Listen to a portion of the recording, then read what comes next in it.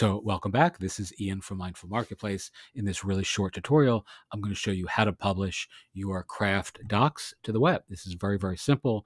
And I'm a relatively new craft user, but it's a phenomenal way of publishing, you know, online courses, uh, creating resource guides that you can share with your, uh, you know, either your internal team or with folks in your entrepreneurial orbit. If you're a maker or a creator or a teacher or somebody who is selling content online, you can actually use like conventional, like e-commerce tools like Gumroad, let's say, for an example, or WooCommerce, and sell a piece of content that upon purchase redirects to a URL that you uh, actually, you know, publish using a craft doc. So let's just pick any one of these uh, really quickly.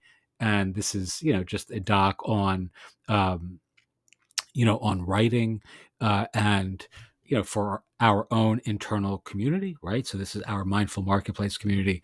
We teach courses on a variety of different platforms, but really, honestly, I could do a lot of this using Craft for free. So let's really quickly go to share, and you have two different options here. You have a share to web at, or an export as, and there are different options here that are worth exploring. PDF obviously is a great way of turning these sorts of craft docs into uh, ebooks and you know workbooks and all that sort of thing. But for this particular example, we're just going to use the share to web link here because we want to share this resource online. And it's done, right? So now you have a um, a, a, live URL where this document lives in the world. There are all sorts of different options here that you can explore, including setting a password. You can actually, uh, you know, create your own branded domain and URL on the business plan uh, using Craft. So you can actually, for an example, have this live on a domain that's branded to you rather than a Craft URL. But for right now, it doesn't really matter. We're just going to click on this here and boom, now we have a live URL with our Craft document.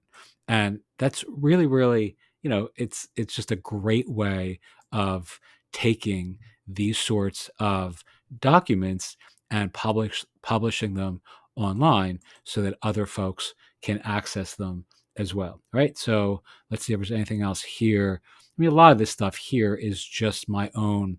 Um, you know, this is actually a little mini course that's fleshed out in much more detail on our uh, LMS, our learning management software program but you can see here, I could publish this the same way, just a very simple mindfulness based uh, practice. If you click on this here, it actually, so I'll show it to you like this. And this is another really cool feature is this is live on the web right now, and it actually links to another PDF. So that document has its own embedded PDF, which will also open from that web URL.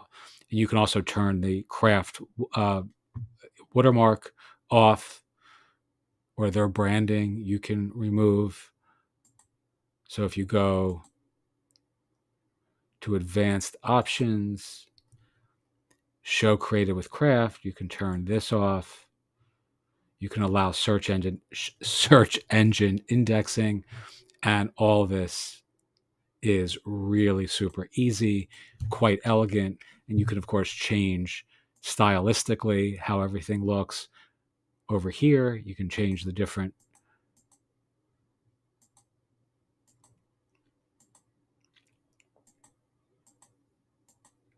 All right, so you can explore this on your own, but I'm a huge fan of Craft. And while I'm only really a recent convert to Craft, it is truly a phenomenal platform um, that I am really grateful to have discovered. Okie doke, teach what you know, do what you love, wake up the world with your work. Thank you so much for watching. And if you have questions about using Craft or otherwise,